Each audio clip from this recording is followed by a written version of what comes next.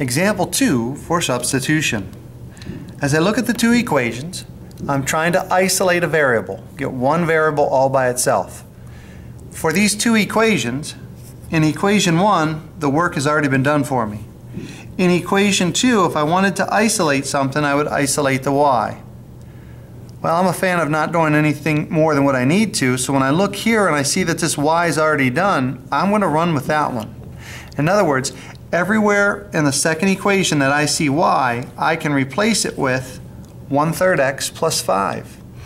And so the first thing I'm going to write is 2x plus, I'm replacing the y with what it's equal to from the first equation. So I can say 1 third x plus 5 equal 19. I have one equation with one unknown right here.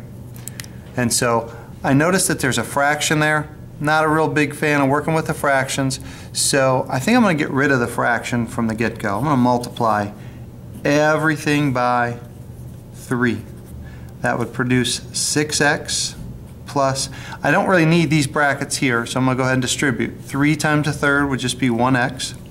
3 times 5 would be 15, equaling 3 times 19 is 57 combine like terms. As I combine my like terms, I can have 7x plus 15 equaling 57. I'll move the 15 over. As I move the 15 over to the right, this becomes 7x equaling 57. Take away 15. 57 take away 15 is 42. So I have 7x equaling 42. I divide by 7. It looks like x will be 6. Because I was able to solve that equation, get a value, I come up here, I know that it's going to have an intersection point at 6. Now I simply have to find out what the y value is. If I plug 6 into here, a third of 6 is 2. 2 plus 5 is 7. And so my intersection point would be 6, 7.